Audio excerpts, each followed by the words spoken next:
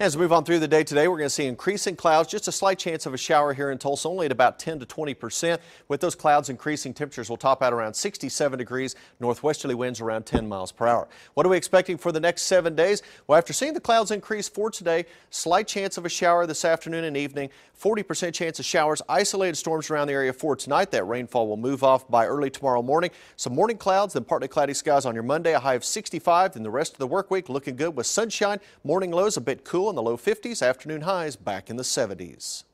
Get your heart racing at Extreme Racing in Broken Arrow, the premier go kart racing at 71st and Elm in Broken Arrow. One stop for all things fast and furiously fun. It's go time at Extreme Racing, 71st and Elm, or go to extremetulsa.com.